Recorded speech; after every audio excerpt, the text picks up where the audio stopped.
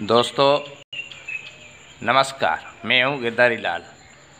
आज थदड़ी है तो आप सभी भाइयों को, सबको मैंने थदड़ी की बधाइयाँ हो, थदड़ी की बधाई हो।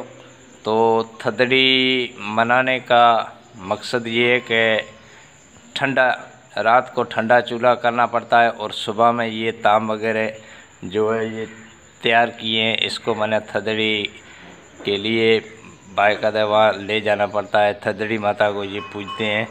तो आज हमारा त्यौहार है, एम त्यौहार है थदड़ी। तो थदड़ी, आपको पता है, थदड़ी का मकसद ये है कि ठंडा चूल्हा। तो रात को हम सोते वक्त अपना चूल्हा जो है, वो ठंडा करते हैं और रात को जो ताम वगैरह पकाना होता है तो पचा लेते हैं। तो आप देख सकते हो मेरे ब्लॉग में ये पापड़ वगैरह में हमने बनाए और ये जो है मीठा कुछ बनाया है और दही है और गंदम की जो होती है जो जो गाठ है वो गाठ बनाया है और दही भी है। आप हमारे ब्लॉग में देख सकते हैं। तो आज हमें बहुत खुशी है कि आज हमारा बड़ा अहम त्यौहार है थदड़ी। तो आप सभी भाइयों को थदड़ी की बधाइयाँ हो।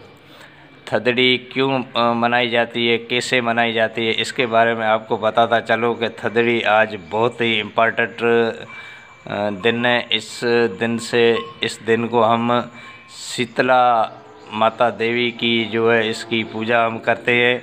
तो शीतला देवा माता, शीतल का लफ्ज़ की जो मान्या होती है, वो है ठंडा। तो रात को ठंडा चूल्हा करना पड़ता है तो रात को ये आइटम वगैरह बनाना पड़ता है।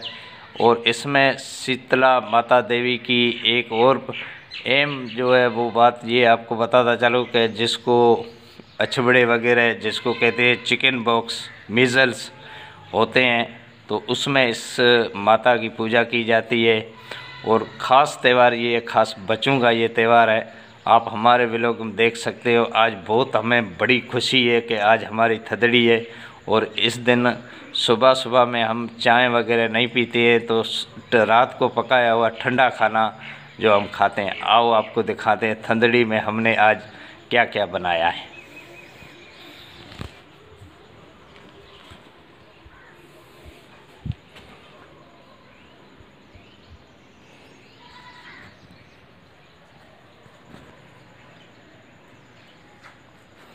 ये रात को हमने पापड़, ये मीठा ताम वगैरह बनाया है। ये आप देख सकते हैं हमारे व्लॉग में। ये थदड़ी की, अब हम जाएँगे इनकी शीतल माता की देवी, ये उसकी पूजा करने। तो आप हमारे व्लॉग में देख सकते हैं। ये जो है, रात को हमने चूल्हा ठंडा किया था तो ये रात को हमने जो है, खाने पीने की चीज़ें जो है तैयार की है। ये मेरा व्लॉग आपको लाइक भी करना है और सब्सक्राइब भी करना है, आगे शेयर भी करना है। गिरधारी लाल ब्लॉग्स।